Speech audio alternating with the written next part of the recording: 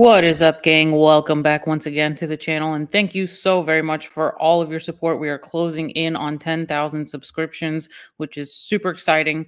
And I can't thank you all enough for supporting this channel, supporting me, supporting Brian, supporting everyone uh, who's been out here doing great work on behalf of Johnny and everything that's going on with the crazy press and all that stuff. So, once again, I am here with sort of a short video uh, on the live stream the other day we were talking about this story where Amber talks about being kidnapped in this interview and sort of having a chuckle about it. And a bunch of people said that they had never heard this story before. So I have the interview here for you. I'm going to read it down real quick so you can get an idea of what we were talking about.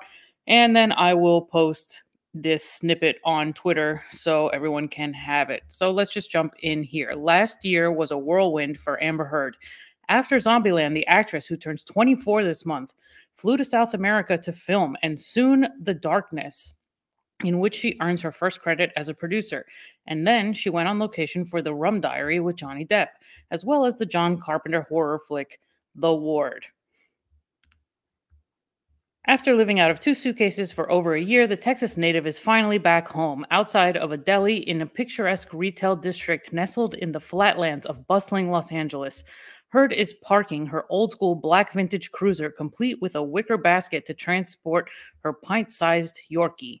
She radiates with undeniable star quality, and the world is catching on.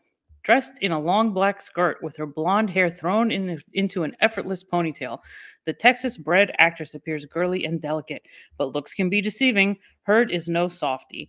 The bracelet she wears around her wrist is engraved with words that denote a certain strength of character. Tomorrow is another day. Heard is resilient. Crazy things have happened to her within the past few months. She's had her hotel room broken into, personal belongings stolen, and someone rummaged through her trailer. According to Heard, she's been picked up in Eastern Europe, arrested, kidnapped, and mugged. She's also been held at knife point by a cab driver for the contents of her purse in the middle of Santiago, Chile. Not one to take things lying down, Heard retaliated in high heels and all. And none of this happened in a movie. Not quite sure about that. When I did realize we were headed nowhere, I started asking questions, says Heard.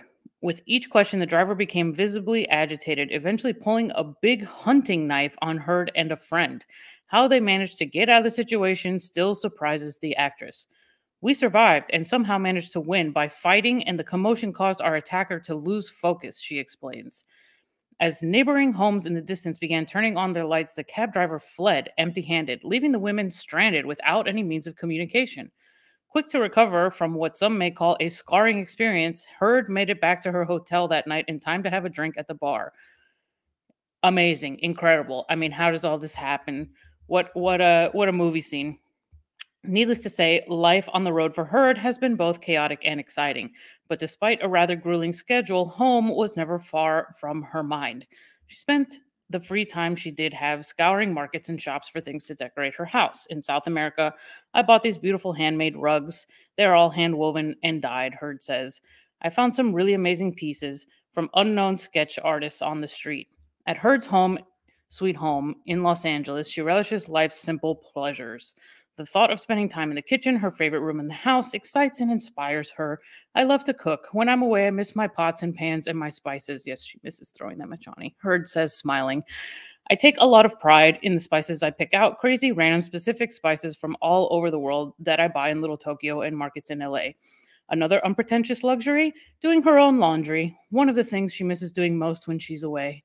It's such a luxury to be able to pick my own fabric softener. Being home is the exotic part of my life. The Lone Star, the Lone Star State native doesn't believe in taking fame to the extreme. Hmm. You'll never find the actress tweeting about going to the dentist or her trip to the mall. Huh. There's a line between being an artist and being a celebrity, she says.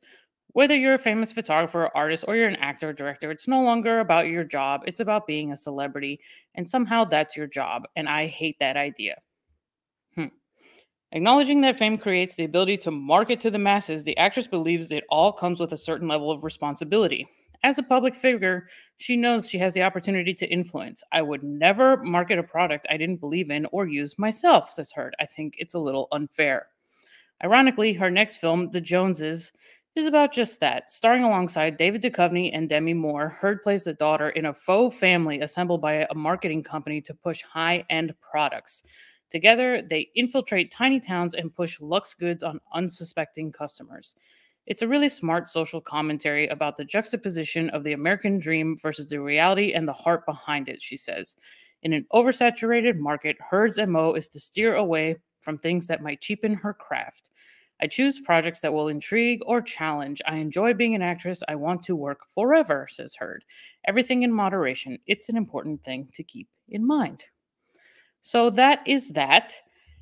Very interesting little quotes there uh, at the end of everything that we've seen over the last few years. That really kind of puts a lot into perspective. And of course, we have our perpetual damsel in distress, just uh, magically getting herself out of so many dangerous and life threatening situations to make it home in time to get to the bar. Uh, thank you guys for watching. That is it for today.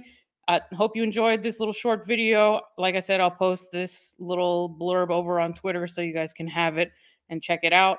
Thank you once again for all the support. It is immense and it means so, so much to me. I just appreciate you all so much. Thank you for watching. Comment, like, subscribe. We're so close to 10K, as I said. And I will see you guys in the next one.